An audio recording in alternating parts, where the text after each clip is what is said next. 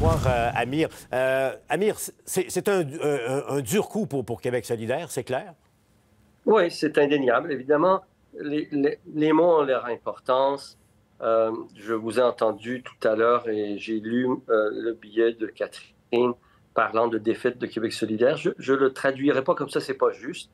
je sais qu'à l'interne, depuis l'élection d'Émilie, des efforts réels et sincères étaient euh, déployés pour, euh, disons, euh, accorder des ressources à Émilie, lui accorder la possibilité d'avoir du soutien logistique. Mais je pense que les priorités n'ont pas été mises à la bonne place au bon moment. C'est-à-dire que devant les difficultés financières auxquelles a fait allusion Elsie, qui sont réelles, ben, il aurait peut-être fallu prioriser la politique et prendre le risque de prendre un peu de, enfin, d'aller, euh, c'est-à-dire de, s'endetter s'il le faut pour euh, faire en sorte que le, le choix politique du Congrès, euh, mm-hmm. la présence d'Émilie soit de manière plus, plus prévisible là, et assurée. Amir, euh, bon, dans son mot, euh, Émilie Zessart-Terrien, euh, sans le nommer, écorche quand même Gabriel Nadeau-Dubois. Là. bon, le train était déjà bien en marche, j'ai voulu y monter, ça n'a pas, fonctionné. je me suis senti seul, du mal à trouver mon espace dans une équipe qui s'est serrée autour du porte-parole masculin. tu parlais de Catherine Dorion également. Est-ce est que ça, ça révèle pas un malaise sérieux à l'interne à, à Québec solidaire entre une aile plus militante et l'équipe de, Québec euh, autour de M. Nadeau-Dubois? Ben, on peut tenter de l'analyser comme ça. Euh, mais je voudrais quand même attirer l'attention sur le fait que ce problème-là, on le vit de manière structurelle depuis le début. On a deux porte-paroles. C'est un choix qu'on a fait parce qu'on a des ambitions en matière de, disons, de renouvellement et de changement de la culture politique. Euh, Québec solidaire se veut un parti plus horizontal, moins hiérarchique, donc ça impose des choses. Cependant, le travail parlementaire, les ressources énormes qu'on a là-bas, la vitesse à laquelle vont les choses au Parlement, euh, Paul, tu le sais mieux que quiconque, font en sorte que très rapidement, si on n'y prend pas attention, si on n'y prend pas garde, ça aspire tout l'oxygène à l'intérieur d'un parti. Le mécanique, la mécanique politique parlementaire n'est pas faite pour permettre la participation, on ne parlera même pas des citoyens en grand nombre, mais même de la base d'un parti. Donc, c'est un, un dilemme constant qu'on avait. J'aurais souhaité que Gabriel soit plus habile, comme le reste de la direction, parce que c'est une responsabilité partagée. Il ne faut pas personnaliser le débat. c'est beaucoup, la, question dépasse à la fois Gabriel et Émilie. J'aurais aimé que le parti soit capable de régler ça. Euh, on a tous une responsabilité là-dedans. Euh, régler ça comment? C'est-à-dire d'instaurer de, des mécanismes structurels, parce que c'est un problème structurel, pour faire en sorte que toutes les ressources du parti soit pas comme le veut la tradition dans les machines politiques mhm. consacrées aux élections, consacrées aux députés, que les députés puissent consacrer une plus grande partie de leur temps, y compris les porte-parole, au travail qu'il y a sur le terrain. Puis ça, c'est un, dilemme qu'on n'a pas tout à fait encore résolu. Puis c'est pas arrivé assez tôt pour qu'on puisse rencontrer les attentes des ministres. Je la comprends. Elle, elle était fatiguée, elle était en attente de ça.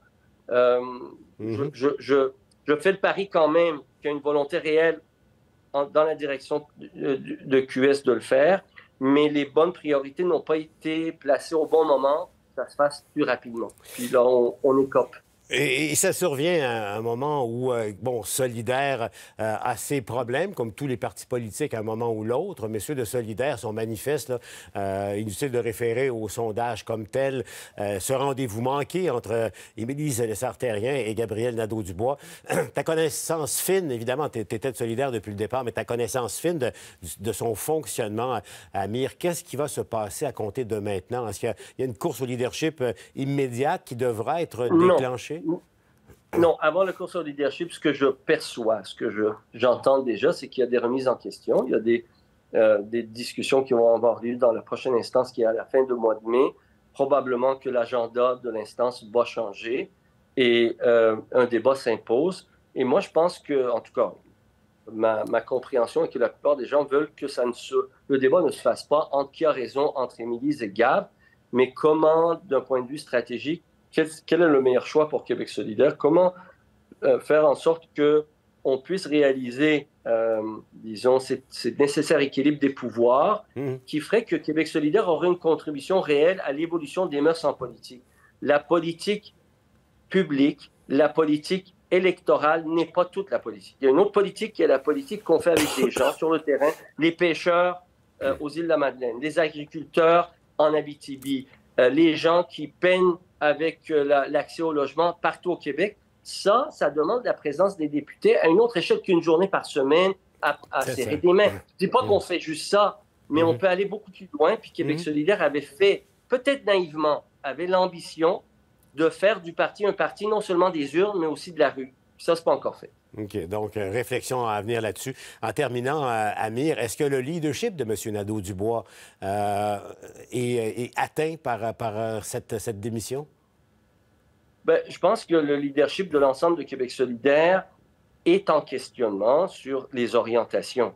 Mais c'est un, c'est un, une responsabilité collective. Moi, je, comme je, vous l'ai dit, Québec solidaire n'est pas un parti d'un chef. Dans un parti traditionnel où il y a un chef, tout le poids se reporter sur le chef parce que c'est lui qui doit uniquement prendre les décisions. Mais à Québec solidaire, c'est une direction collective. Puis s'il y a ce genre de problème, ce genre de questionnement, c'est à tout le monde à porter le chapeau. Et actuellement, je trouve en la personne de Roxane Milo, qui est notre présidente, qui a émis un communiqué aujourd'hui. J'ai trouvé dans ses propos toute la, sagesse dont on a besoin. Il ne s'agit pas de noyer le poisson. Il y a un problème, mais il s'agit de le prendre sereinement, de mener le débat de manière ordonnée. Puis c'est pas juste à Gabriel à le porter. Amir Kadir, toujours un plaisir. Merci pour ton éclairage. Amir, ne bougez pas. On se parlait en début.